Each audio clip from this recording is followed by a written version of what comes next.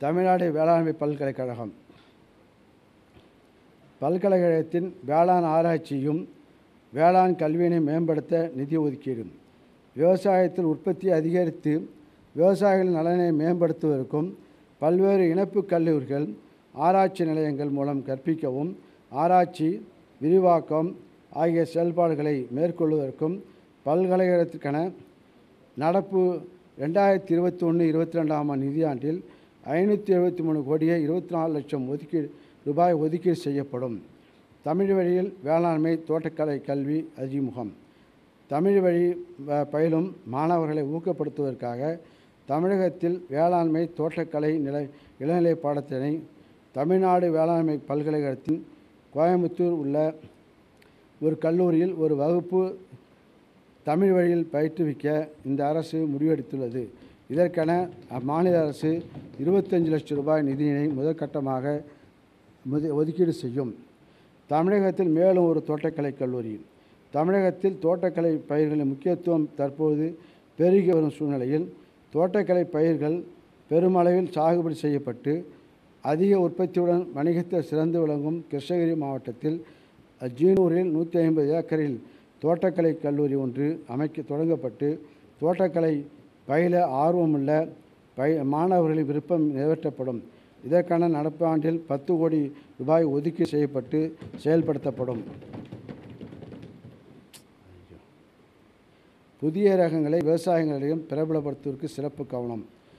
பயிர் வகைகளிலும் எண்ணெய் வித்துகளிலும் அதிக மகசூல் தரக்கூடிய ரகங்களையும் குறைந்த வெப்ப மண்டல பழப்பயிர்கள் உற்பத்தி தொழில்நுட்பங்களையும் விவசாயிகளையே பிரபலப்படுத்தவும் பாரம்பரிய உயர் விளைச்சல் ரகங்கள் பற்றிய ஆராய்ச்சி நடத்தவும் நடப்பாண்டில் ஐந்து கோடியே ஐம்பத்தேழு லட்சம் ரூபாய் ரூபாய் ஒன்றிய மாநில அரசு நிதி ஒதுக்கப்படும்.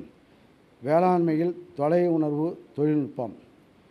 தொலை உணர்வு தொழில்நுட்பத்தின் மூலம் பயிர் பரப்பளவு மகசூல் மதிப்பீடு மண் நிலவள மறை வரைபடம் வேளாண் பேரழிவுகளின் பேரழிவுகளின் தாக்கத்தை மதிப்பிடுதல் குறித்த ஆராய்ச்சி செயல்படுத்தப்படும்.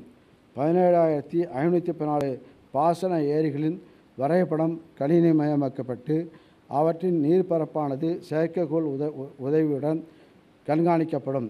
இவ்வாண்டில் தொலை உணர்வு தொழில்நுட்பம் மூலம் முக்கிய பயிர்கள் குறித்த தகவல்களை தகவல்களை உருவாக்கி பயிர் காப்பீடு திட்டத்திற்கு பயன்படுத்துவதற்கு ஏதுவாக 72 லட்சம் ரூபாய் ஒதுக்கீடு செய்யப்படும். ஈரோட்டில் மஞ்சள் ஆராய்ச்சி நிலையம். சுமார் இருபதாயிரம் ஹெக்டேர் பரப்பில் மஞ்சள் பா சாகுபடி மேற்கொள்ளப்பட்டு தொண்ணூற்றி ஆறாயிரம் மெட்ரிக் டன் உற்பத்தி செய்து அகில இந்திய அளவில் தமிழ்நாடு ஐந்தாவது இடத்தில் உள்ளது. இத்தகைய பெருமைமிகு மஞ்சள் தொடர்பான ஆராய்ச்சி பணிகளை மேற்கொள்வதற்கு ஈரோடு மாவட்டம் பவானிசாகரில் மஞ்சள் பயிருக்கான ஆராய்ச்சி மையம் சுமார் நூறு ஏக்கர் பரப்பில் அமைக்கப்படும். இதற்கான ரூபாய் ரெண்டு கோடி ரூபாய் மாநில அரசு நிதி ஒதுக்கீடு செய்யப்படும். வேளாண் வணிகம் தொழில் முனைவோர் மேம்பாடு. வேளாண்மை தொடர்பான பல்வேறு தொழில்களில் வணிகம் தொழில் முனைவோர் மேம்பாட்டிற்காக ஒன்றிய அரசின் உன்னத் பாரத் அபிமான் திட்டத்தின் கீழ் தமிழ்நாடு வேளாண்மை பல்கலைக்கழகம் மண்டல ஒருங்கிணைப்பு நிறுவனமாக தேர்வு செய்யப்பட்டுள்ளது. இந்திய வேளாண் ஆராய்ச்சி கழகத்தின் உதவியுடன் இயங்கும் தேசிய வேளாண் உயர்கல்வி திட்டத்தின் மூலம் ஒரு கோடியே முப்பது லட்சம் ரூபாய் பெறப்பட்டு இளநிலை மாணவர்களின் தொழில் முனை தொழில் முனையம் திறன் மேம்படுத்தப்படும். சர்வதேச நிறுவனங்களில் கல்வியாள கல்வியாளர்களுடனான தொடர்பும் தொழில் வல்லுநர்கள் உடனான துணை இணைவும் மேம்படுத்தப்படும்.